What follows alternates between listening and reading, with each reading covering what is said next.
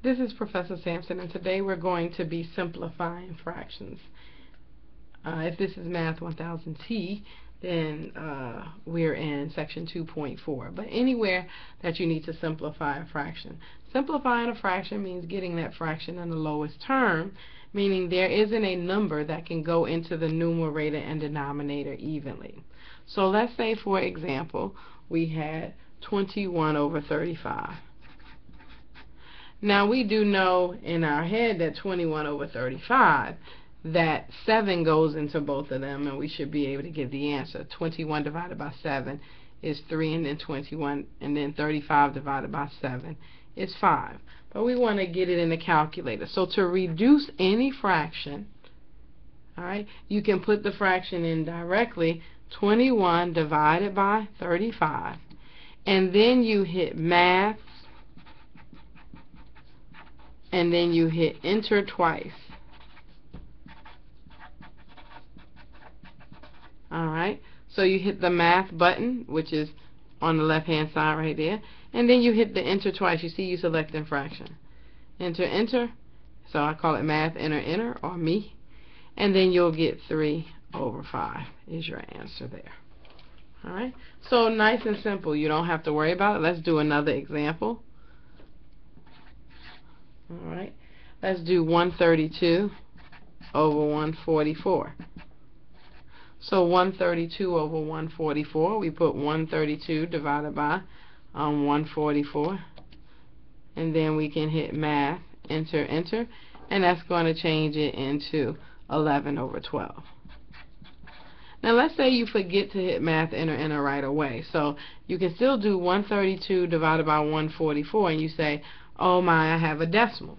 And the question doesn't want a decimal answer. Right from there, you can just hit math, enter, enter, and it will give you the answer. So how do you change a decimal to a fraction? Alright, so you change a decimal to a fraction by that process also. By hitting math, enter, enter. Right? Now, some of you may have the upgrading your calculator, which we talked about earlier. Whoever has a calculator to be upgraded, it should already be upgraded. But if you have a calculator that can be upgraded, uh, that is upgraded, you're going to be able to get a submenu for fractions. How do you get the submenu, and what do I mean by submenu? A submenu is something that's not sitting right here. So, in order to get that submenu, I have to hit the alpha key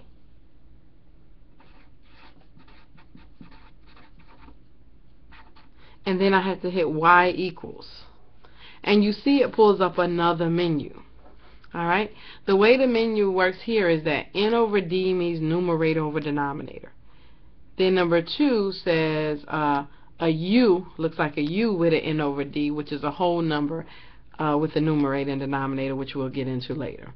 Alright? But if you want to fill in your numerator and your denominator, you just hit enter, or you hit enter. And when you hit enter, right, right where you are at number one, you get these little boxes and you can just fill in the blank. So if you look at the last one I did, I can put in 132 and then I can just go down to the box and put in 144. Now that way I'm going to get my same answer, but it, but I don't have to hit anything else because I don't have a decimal.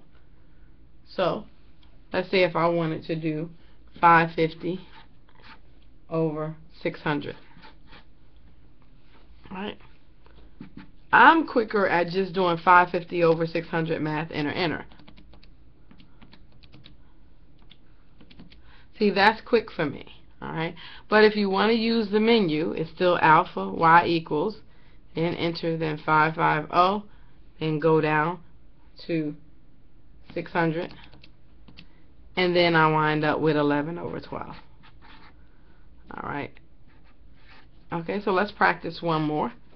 Number four. Alright. So the last one we're going to do is 220 over 242. Alright. And I'm going to do it both ways so you can see it. 220 over 242. Right. Then I can hit math. Enter, enter. And I get 10 over 11. Or I can use my sub menu by hitting alpha y equals and enter and then just fill it in 220 down to 242. And it's going to give me back 10 over 11. So what we did today was learn how to put, how to simplify a fraction in the calculator two ways. If you don't have the upgrade, use the math enter enter.